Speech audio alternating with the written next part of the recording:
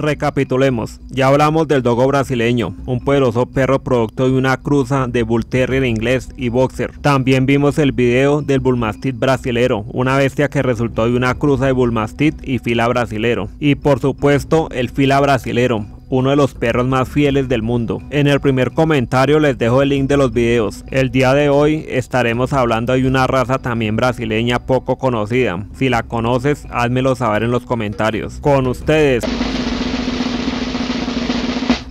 el Bulldog Campeiro o Bulldog Campeiro un perro de gran poder, con la capacidad de atrapar y retener ganado vacuno y cerdos que se querían escapar de su destino final, el matadero. Les pido por favor se queden todo el video, estaremos hablando de su historia, características, curiosidades y mucho más. También me ayudaría mucho si se suscribieran al canal. Existen dos teorías de su origen. Primera teoría, a principios del siglo XIX y a mediados del siglo XX llegaron muchos migrantes procedentes de países como Alemania, Italia, entre otros, trayendo consigo razas como el extinto Bulldog inglés, perros que contaban con buenas condiciones físicas y buen temperamento, Posteriormente se cruzaron con perros locales naciendo así el Bulldog Campeiro. Segunda teoría, existió en Portugal una raza llamada fila de tercera o rabo corto. Se creó a partir del dogo de Burdeos, alano español y mastín español. Posteriormente se mezcló con el antiguo Bulldog inglés. Después de esto fue traído a Brasil donde sufrió otras variaciones, creándose el Bulldog Campeiro. Es más, el Campeiro se considera un remanente, un residuo del fila de tercera. Cualquiera de las dos teorías podrían ser válidas. Es una de las razas de bulldog más funcionales que existen, digno representante del antiguo bulldog inglés. En sus inicios se utilizó para manejar ganado,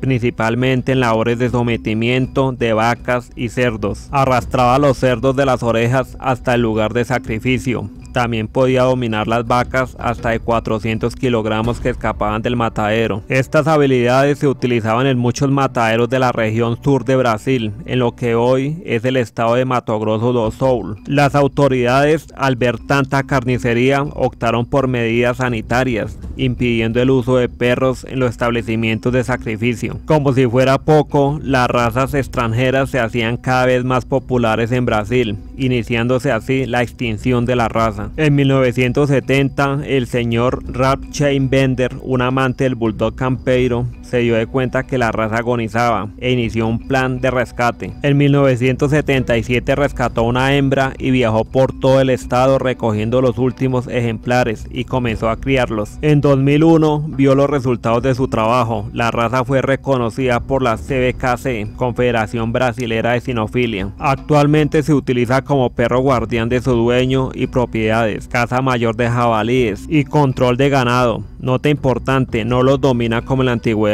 más bien cumple funciones de pastoreo. En resumen, es un perro del campo, un perro rural. ¿Cómo es tener un campeiro en casa? Es un perro muy leal a su dueño, se adapta fácilmente a cualquier situación, se la lleva bien con los niños, tiene un alto instinto de protección, es valiente, rústico, características que lo hacen un buen perro guardián, es desconfiado con extraños, callado y no ladra innecesariamente. Como es un perro de trabajo, necesita ejercicio diariamente, se recomienda tenerlo en zonas rurales donde pueda disfrutar del aire libre y de su trabajo. Cuenta con magníficas características físicas que lo ayudan a desempeñar las labores anteriormente mencionadas, como una constitución ancha y una forma de cuerpo casi cuadrada, complexión media, muy fuerte y algo pesado. Es bastante musculoso, de cabeza ancha, hocico corto pero no tanto, poderosa mandíbula, orejas pequeñas, cola corta y torcida, pelaje liso, corto y de todos los colores. En caso de los perros totalmente blancos deben tener las mucosas y los párpados bien pigmentados, de lo contrario serían albinos y esto afectaría su utilización para el trabajo. Los machos miden aproximadamente a la altura de la cruz 53 centímetros con un peso de 35 a 45 kilogramos. Las hembras miden 51 centímetros con un peso de 30 a 40 kilogramos. El bulldog campe Goza de buena salud, aún no se conocen enfermedades relacionadas con la raza. Una curiosidad antes de terminar, algunos criadores han introducido sangre de la raza Bulldog inglés antiguo, pero ojo, no es el mismo antiguo Bulldog inglés, surgiendo colores exóticos como el pelaje azul.